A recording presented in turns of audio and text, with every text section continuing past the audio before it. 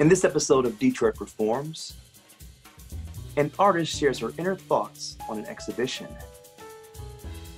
How Detroit's historic orchestra hall turned to jazz, and how a philharmonic survives.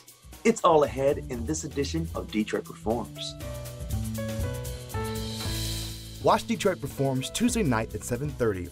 For more information about artists featured on the show, please visit detroitperforms.org.